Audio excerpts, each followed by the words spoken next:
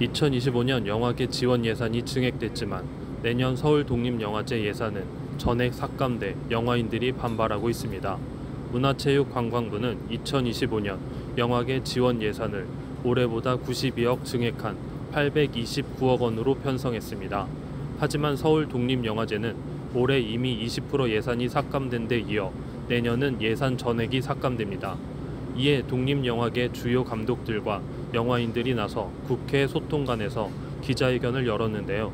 이 자리에 함께 선 영화인들은 한 목소리로 영화제 지원 예산 복원, 서울 독립영화제 지원 중단 철회, 지역 영화 지원 사업 복원 등을 촉구했습니다.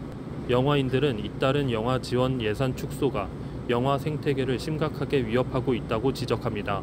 특히 영화계와 어떤 논의도 없이 하루아침에 예산이 삭감됐다며 우려의 목소리를 높였습니다. 뉴스토마토 신상민입니다.